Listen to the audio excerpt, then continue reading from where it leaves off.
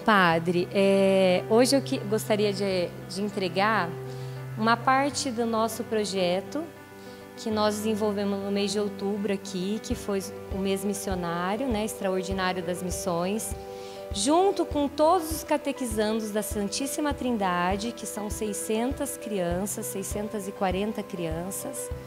Nós desenvolvemos esse projeto para arrecadar dinheiro, né, para contribuir com essa escola que a gente almeja mesmo que, que logo, logo esteja em construção, assim, bem.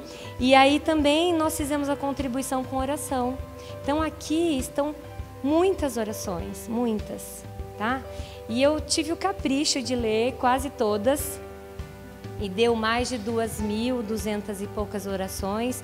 E aí eu contei como um terço uma oração, uma dezena uma oração.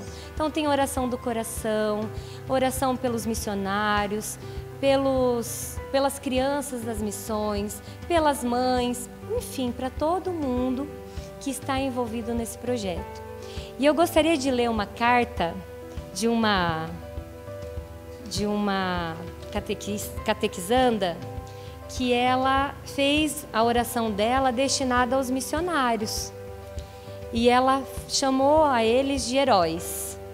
Eu não tenho palavra para distinguir seu amor pelos filhos de Deus e levar a palavra até os cantos mais isolados do mundo, deixando assim sua família por dois, três ou quatro anos. Escreva essa carta com o propósito de consolar seus corações e deixar claro que vocês são verdadeiros heróis. Durante duas semanas, e vou continuar, rezei por sua saúde, sua família e que toda a sua angústia desapareça.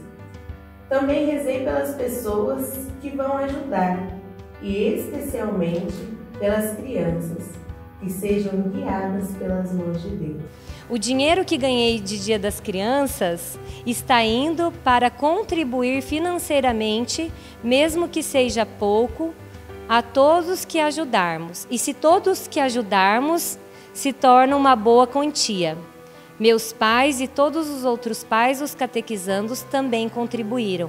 E de agora em diante, nossa família não reclamará mais da vida, pois existem pessoas em condições muito, muito piores. Infelizmente eu, com 12 anos, não posso contribuir além disso, pois como sou menor de idade, não posso ir até a África para ajudar outras pessoas. Porém, aqui no Brasil, eu rezo e vocês, logo mais na África, convertem os fiéis. Agora, nós aqui do Brasil, de todo o Paraná, cidade de Arapongas, Igreja Santíssima Trindade, só temos que agradecer pelo seu ato de bondade, caridade e solidariedade.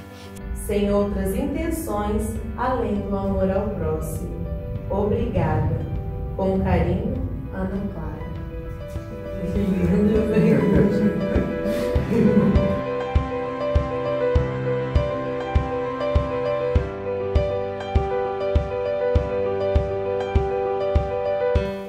É muito importante rezar pelos missionários, porque a oração ultrapassa o espaço e o tempo, o oceano, os territórios.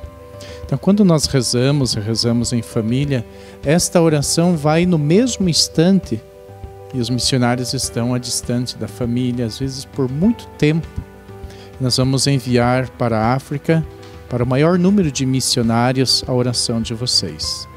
Vamos também postar no site da CNBB esse testemunho tão bonito de crianças que rezam pelas necessidades da igreja, especialmente pelas missões.